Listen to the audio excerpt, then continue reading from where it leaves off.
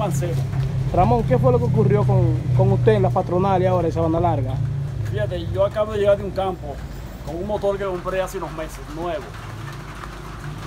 Y lo entré para la casa y cuando me levanto por la mañana abrieron la puerta de la casa y me lo sacaron. Algo, algo insólito, algo que yo nunca hubiese visto en este pueblo. Estando usted durmiendo, Estando yo acostado, que no sé cómo no me jodieron ahí. estando usted durmiendo, ¿verdad?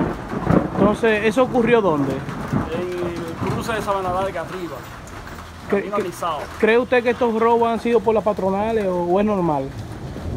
Han habido unos robitos de- anteriores, pero ahora hay unos robos como raros, muy raros, que yo lo veo insólito.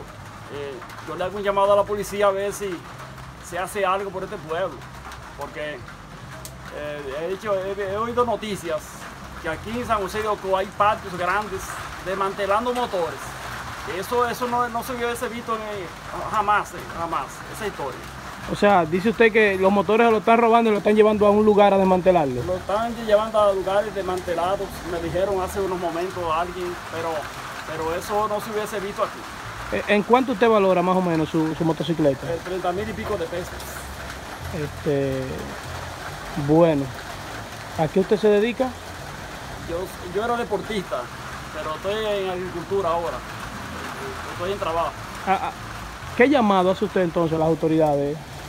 Bueno, cuando agarren a estos individuos que no lo suelten a la calle otra vez, a hacer eso, es- eso va en perjuicio a la población.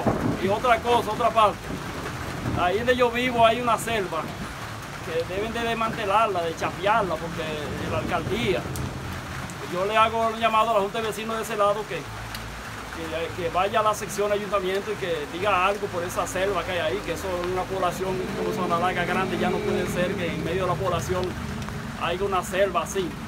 ¿Cuál es el nombre suyo? Ramón Mancebo. No he terminado. Mira, la mamá de Ñego que trabaja en, en salud pública, robaron un televisor ahí y lo escondieron en ese bosque. Que yo no sé cómo la alcaldía no ha hecho algo para chapear eso, porque ahí se esconden todo el mundo, todos los delincuentes. Hace usted también el llamado entonces a los dueños de los solares bardíos. Claro, porque es una población, eso es muy bonito, algo chapeado, limpio, todo. Y, y yo hago un llamado a la Junta de Vecinos que vaya a la alcaldía a ver si hace algo por eso.